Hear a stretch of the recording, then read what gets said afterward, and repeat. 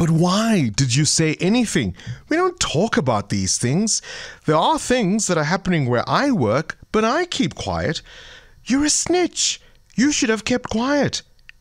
This is what the friends of Matapelo More, a former auditor who blew the whistle on her bosses, say to her.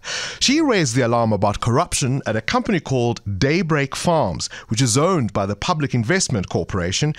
And had she been listened to, she says, 200 million rand of public money might have been saved. Instead, she now says her life is hell. They have broken me. We're joined on the line by uh, the Daybreak Farms whistleblower Matapelo More. And uh, for her, of course, and typical whistleblowers in this country, this is a story we need to know about. Matapelo, very good morning to you. Thank you so much for agreeing to talk to us. Good morning, Bongani. Thanks for letting me on your show.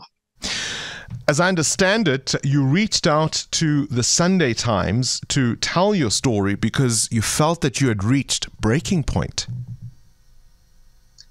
Yes, Bongani. Um, if if if you know about our company, we've been in the media for almost uh, two years since I left Daybreak. Let me say maybe 22 months. Yeah. The story has been in the media, and I felt that nothing was done. It it was as if nobody's listening to what we were saying. We were crying for help, but nobody was listening. That's when I reached out to Sunday Times and told them my story because I felt that South Africa should and should should understand and how whistleblowers are being treated. Of course, your story has been in the media, as you say. You were head of internal audit, um, you were the technical executive. Yours were very senior roles in this company.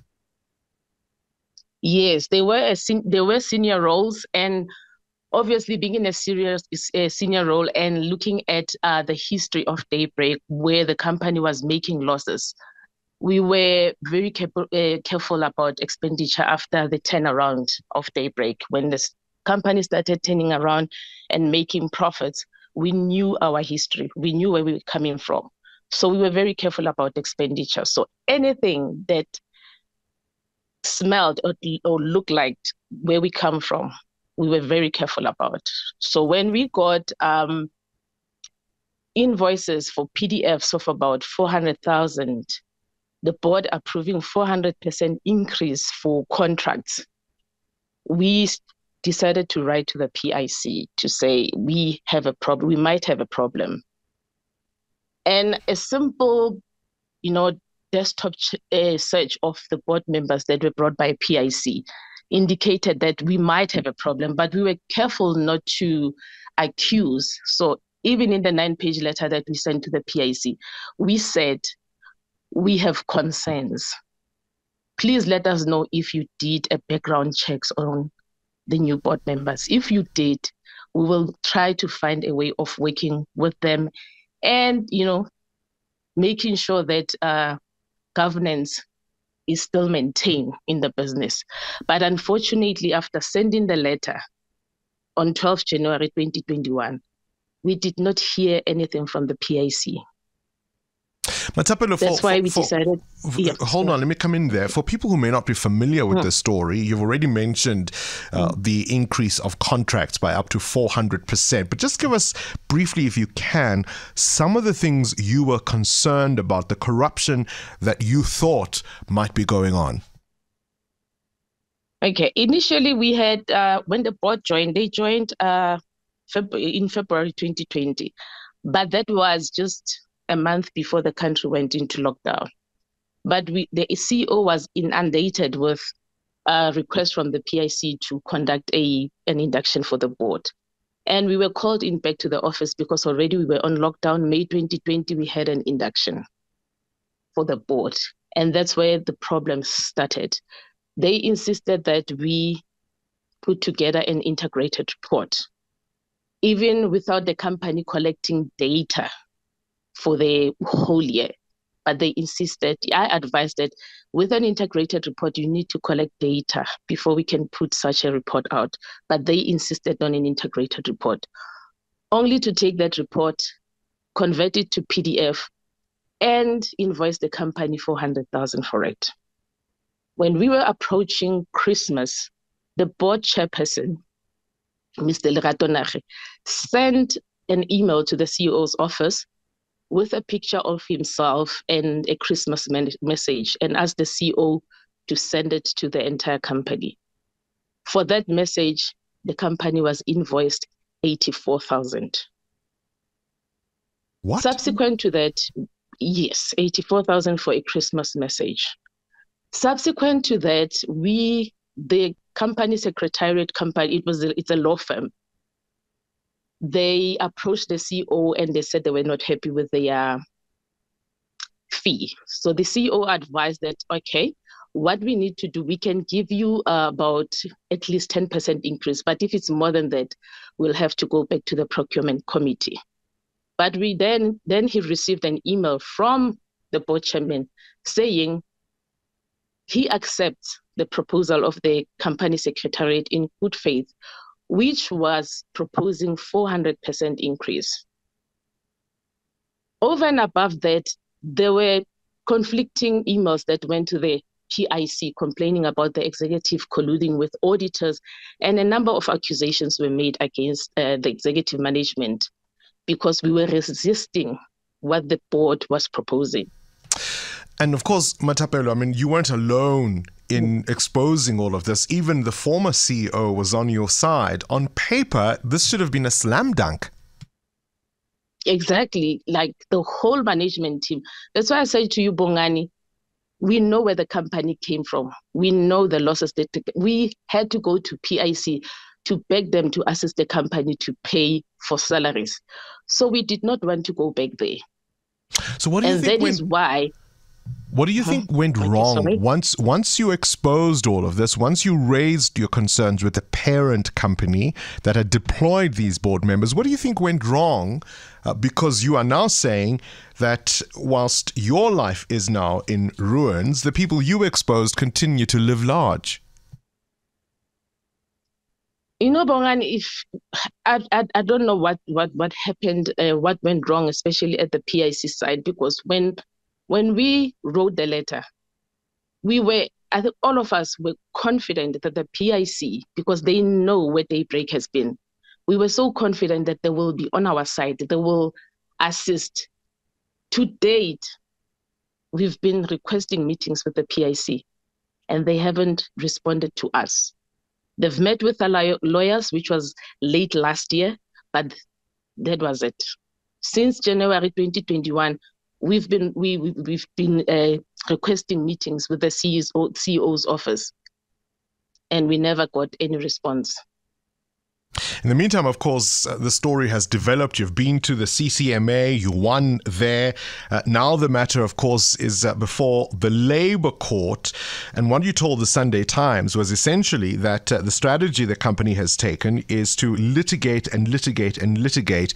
They've got the deep pockets, you don't. Yes, you know, all uh, in all, with six uh, executives that has been displaced by all this, they have about 45 cases, 45 against all of us.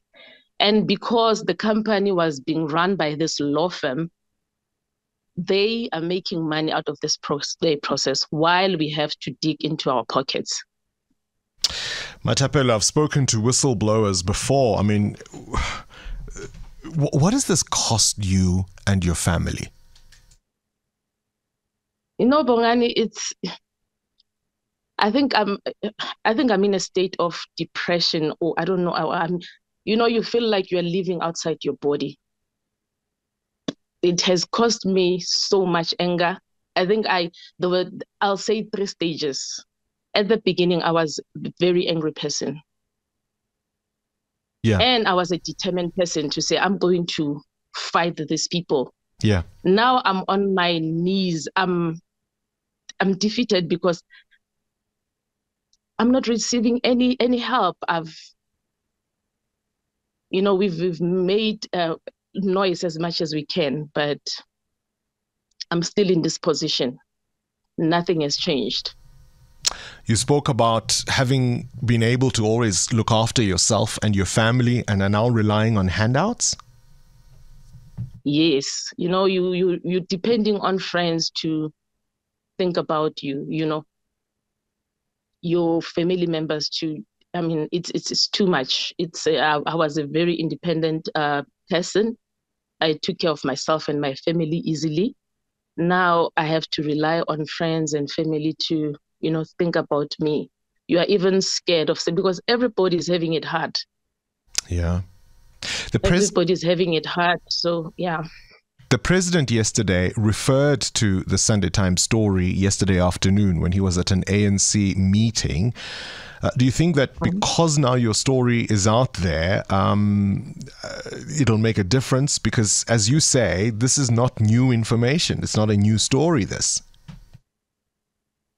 You know, I'm hopeful, Bongani. I, I have to live in hope. Otherwise, why am I living? the, pre- the president mentioning this gave me a bit of hope that something uh, will be done. I hope something will be done because the story has been in the papers for for months, for, for, for a couple of months now. And there is no assistance at all. Nobody's saying anything. The PIC will put out a statement to say this is a matter between the uh, the company and uh, the the investee and its and its board. It's not our matter. You told the Sunday Times you would do it again, and then you phoned them and said, "Actually, no, maybe you wouldn't." Yeah, because I thought, you know, when when I was asked by the Sunday Times, you you think of your your character as a person. Am I a person to keep quiet when I see something wrong? And immediately I was like, I'm not that person. I will speak out. But when you sit, and it is especially the interview happened month end where you're getting calls, you know, you have to pay bills, you have to do this and that. And I'm like, what did I put my kids through? That's when I called and said, um, you know what? I've thought about this and I don't think I can do this. Any, eh, if, if, if I encounter any corruption, I don't think I'll I'll say anything because the consequences are harsh. We don't walk the walk, we don't walk the talk as a society, do we? We promise all sorts of things to people who come forward with information, and yet when they do, this is how we treat them. Matapelo More, we will keep an eye on your story and developments. We'll keep on asking the questions um, of all the role players and to try and make sure that something is done. We appreciate uh, your courage in coming onto the show and talking to us this morning. Current events, developing stories, tough questions, your voice making a difference. This is Breakfast with Bongani Bingwa.